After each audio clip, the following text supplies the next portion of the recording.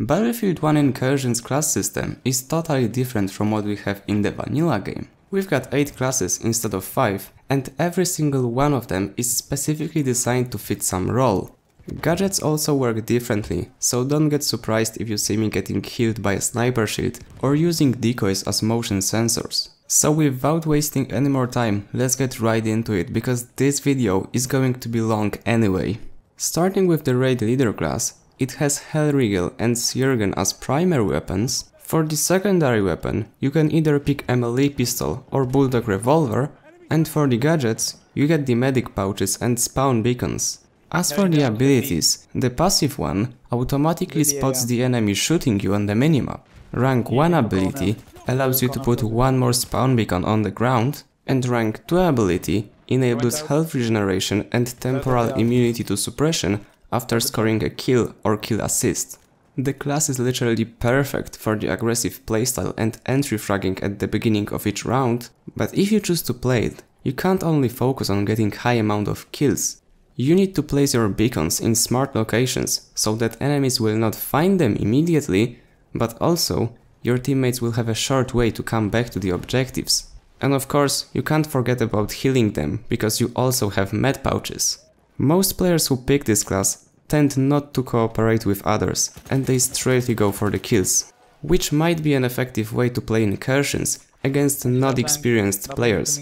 But if you come across those experienced ones, well, Rushing the objective solo, just to get kills, will not win you the round. Moving on to the second squad leader class, called Control Leader, you get the auto-loading factory and SMLE marksman rifle as primary weapons, and for secondary weapons, you can either pick Gasser or MLE pistol. Talking about gadgets for this class, you get flare gun and crossbow, but not normal crossbow, you get the smoke version of it. The passive ability of this class allows teammates to spawn on a leader if he doesn't get hit or suppressed in the last 15 seconds. The rank 1 ability increases the spread of the smoke grenades from the crossbow, allowing you to provide more cover for your team. And rank 2 ability is pretty powerful because it automatically spots enemies around you on the minimap. However, this only works in a small radius, so it's not like you will go on the objective and get everyone spotted immediately. This is the most responsible class to pick in my opinion, because you're basically a living spawn point for our teammates and if you die, they can't go back, they have to run all the way from spawn. And that means that you not necessarily want to rush every enemy, because if you die, then it's kind of a big deal for the whole team. Also your weapon arsenal doesn't really provide you that best close quarter combat abilities, so I'd stick to the medium range and just cover your teammates from distance. Moving on to the class number 3, which is called the Proximity Recon, you get the MP18 Trench and Russian 1895 Trench as your primary weapons. For gadgets, you get the helmet decoys and tripwire bombs HE. And now you're probably wondering, why do we need helmet decoys in incursions? In this game mode, they're not supposed to fool enemies, they spot enemies around them because they work as motion sensors. And going into the abilities of the soldier, the passive one is basically what I just said, so the gadgets of the recon will spot enemies around them. The rank 1 ability adds the red outline around the enemy if he's being actively spotted. So it basically looks like spotting someone with periscope. And the rank 2 ability allows for the automatic active spotting of the enemy that you target. In general, this class is perfect to combine it with someone using mortar support class, because then the mortar becomes deadly effective if the guy has everyone spotted on the minimap. And if you don't know, in incursions, the only way to navigate in your mortar is by using minimap. There is no flying camera after shooting. And as for the playstyle, well, you can play however you want. You can go aggressively, you can go defensively. Your most important thing to do is to put those motion sensors in places where enemies are likely to come through so they get spotted and you can get prepared before they approach you. Moving on to the next class, which is called Shock Assault, you get the BAR in trench variant and 12G automatic Backbored shotgun for your primary weapons and for your secondaries you get the MLE and Bulldog revolver. As for your gadgets, you get the crossbow launcher in HE variant and tripwire bombs in incendiary variant. Your passive ability allows you to carry more explosives and enables you to put multiple tripwires on the ground. The rank 1 ability adds an explosion to incendiary tripwire, increasing the damage, and rank 2 ability makes your crossbow fire multiple grenades instead of just one. And while this class isn't specifically designed to take out vehicles, it's actually very good at doing it. Crossbow can heavily damage them, or even instantly disable, if you're using the crossbow firing multiple grenades at once. And moving on to the class which is proper for taking out vehicles, called AT Assault, for your primary weapons you get MP18 Experimental and M1907 Sweeper.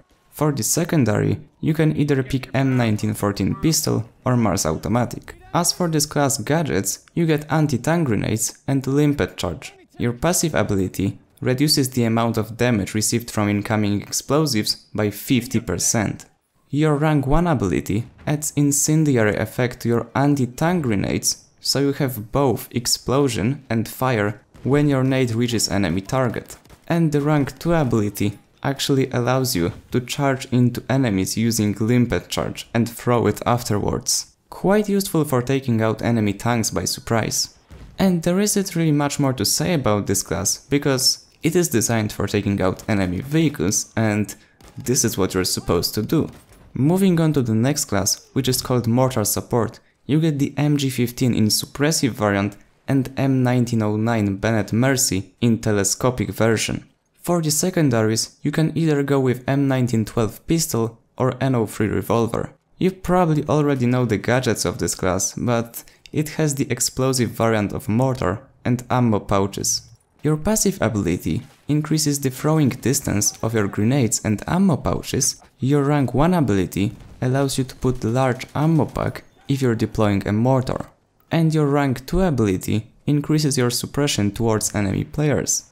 And talking about the proper playstyle for this class, well, you need to keep some distance between you and enemies because your weapons aren't really designed for the close quarter combat and you will find yourself at a disadvantage if you come across someone using Hellriegel or Sweeper. Going over to the next class, called Trench Surgeon, in other words, the guy who usually saves the day, this class has two very good primary weapons, the auto-loading in extended variant and Mondragon in Storm variant. As for the pistols, you either get P08 or C93. For your gadgets, you get the sniper shield and medical syringe. But don't get fooled, because the sniper shield is not working as a normal shield, it's actually a placeable healing point for your team. Talking about its abilities, the passive one heals your teammates standing around you, rank 1 ability makes a dead guy that you spotted to revive drop a smoke grenade to cover you and him being revived. And the rank 2 ability makes you receive less damage overall if you have syringe in your hand. Talking about playstyle, I think it's quite obvious that you can't be the one rushing everyone, but you have to stay somewhere in the middle, between your teammates. Every death counts in incursions, so you have to make sure that you revive as many allies as possible. And talking about the last class, being vehicle operator called battle mechanic, for your primaries you get the Frommer Stop and Pieper pistols, for your secondaries you get the Howdah pistol and MLE, as for the gadgets, you get equipped with the repair tool and bandage pouches. Your passive abilities increase the vehicle repair speed and range damage. Rank 1 abilities makes your vehicle repair itself at a slow rate if you're out of combat. The second rank 1 ability, which is specific for the armored car, allows you to deploy ammo bag and medic bag behind the vehicle. And the third rank 1 ability, which is specific for the light tank, allows you to generate a cloud of smoke around your tank if you need to get out or just get away from the action and hide yourself. The first rank 2 ability increases the reload speed of the vehicle. The second rank 2 ability adds the canister shell to your tank allowing you to take out infantry easier. And the third rank 2 ability, which is specific for the armored car, improves your primary weapon allowing you to direct damage vehicles and splash damage to infantry. And that would be it for this video guys. I know it's not very interesting, but that's how the showcase of classes look like. I will make videos explaining how to play with every one of those classes, but those will be way more specific and include way more tips and info. I simply couldn't do it in this one, because if I wanted to include all the information, the video would be like an hour long, or even longer. Let me know guys if you had the chance to play incursions yet, write down the comment and as always, if you enjoyed, remember to leave a like, subscribe and I see you on the battlefield!